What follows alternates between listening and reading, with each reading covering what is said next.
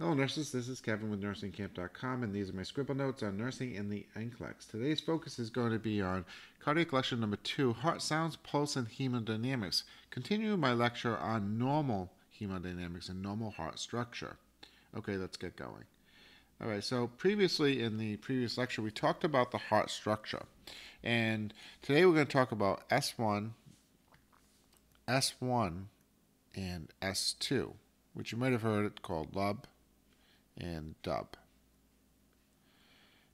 Okay, what does this mean? These are the valves closing, and more specifically, which valves? Well, in the structure, we talked about the location of the valves. Try pulling my aorta, and we said that that's the order that the blood will come in contact. So try pulling my aorta.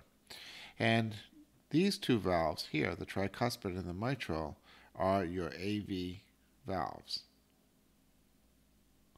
And the sound that you hear when they're closing is S1.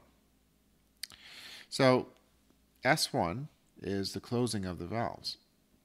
And that's important for hemodynamics, to maintain hemodynamics and to maintain cardiac output and uh, perfusion in the body.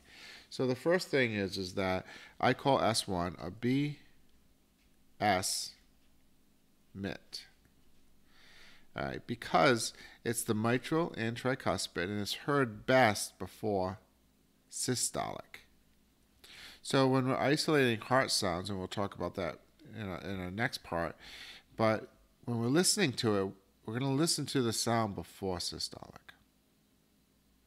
Okay, next is your S2 or your dub.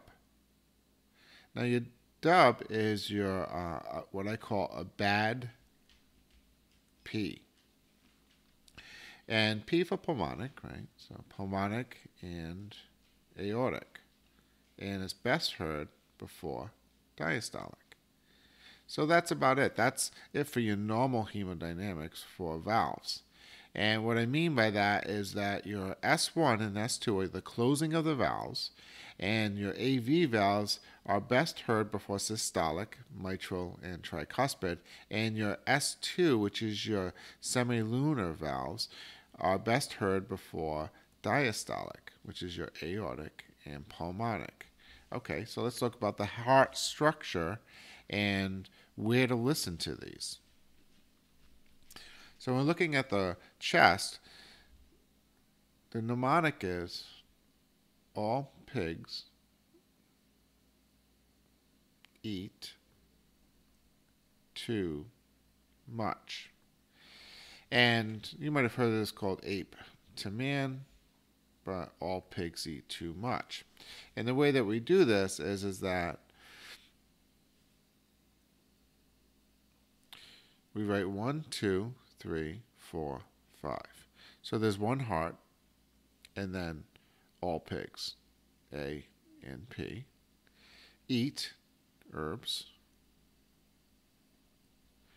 Four, tricuspid. And then five is mitral. Much. So all pigs eat too much, or ape to man. Okay, so what do these numbers mean? All right, well, one heart. Okay, we're talking about one heart. All right, so second intercostal space here is your aortic. And that's your pulmonic. Herb. Herb is the third intercostal space. I always mm-hmm. remember three spaces, three letters in herb, and third intercostal space. Now, what does that mean? Well, third to two, three to two, right here, see this two? It's the best place to hear S2.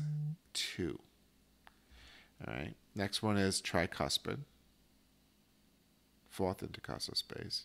And then the fifth intercostal space is uh, mitral valve mid clavicular line. And that's the apex, it's also called. And that's where we listen to the apical heart rate, and that should be anywhere from 60 to 100. So normal heart sounds should be S1, S2. These are the locations that you can find it, and these are your heart sounds.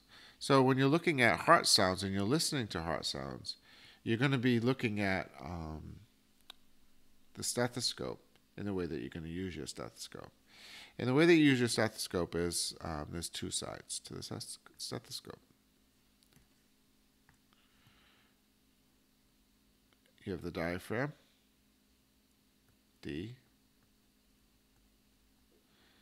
and you have your bell, okay, B before D. So the diaphragm is the larger part. Okay, when you are isolating heart sounds, you're listening to the bell.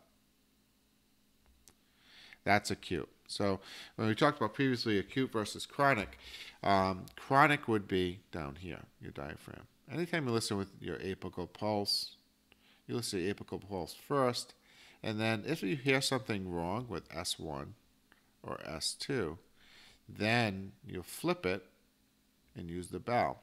And you put them on the left side to listen more to isolate what problem is going on. All right, so let's talk about the next thing. So we talked about heart sounds, S1, S2. These are normal findings. And now we're going to be talking about um, pulses, also normal findings. So pulses are always uh, peripheral pulse. And pulses should be normal, regular, and pedals um, if you can feel pedals on a normal pulse, um, their mean arterial pressure is greater than 65. Okay, and that's a good sign. So in NCLEX question, pulses, radial pulses, and, and pedal pulses is all, all about perfusion and whether or not um, it's procedural. So if you see a procedure with pulses and you see absent, that's acute. All right. Next thing, um, pulses, is why do we uh, why do we need pulses and um, and heart sounds and uh, blood pressure and hemodynamics? Well, it's all about um, cardiac output, and we we measure cardiac output from blood pressure. And see my lecture on blood pressure and causes and stuff.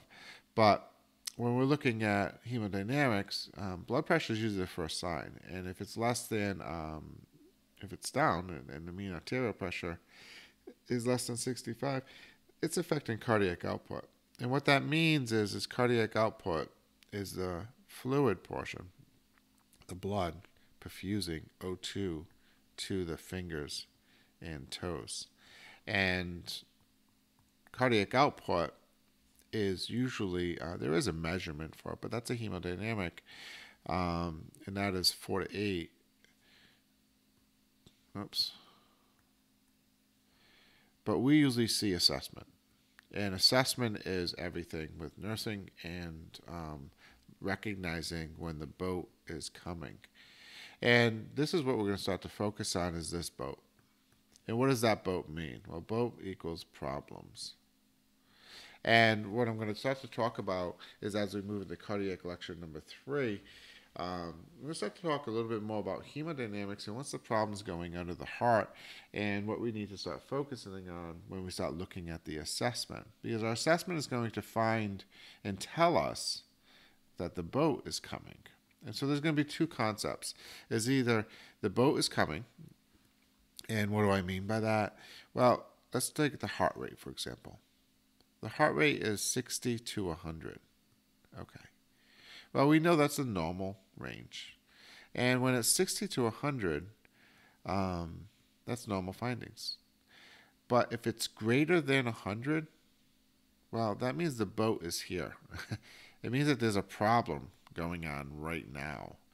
Um, the boat coming would be like 90. Okay, 96. Because why is that little old lady sitting in the bed, tacking away at a heart rate of 96? It doesn't make sense. And so that's what this class will be about. It's going to be about looking at the problems before they happen and seeing it and being that nurse and focusing on that problem and basically putting interventions into place before we get there. So we're going to continue to look at the uh, structure of the heart, and then we're going to look at hemodynamics next lecture in cardio lecture number three. You, my name is Camp. This is Nursing KAMP. You can follow me on Instagram, Facebook, Pinterest, Etsy, also on nursingkamp.com. That's it for me, and nurse on.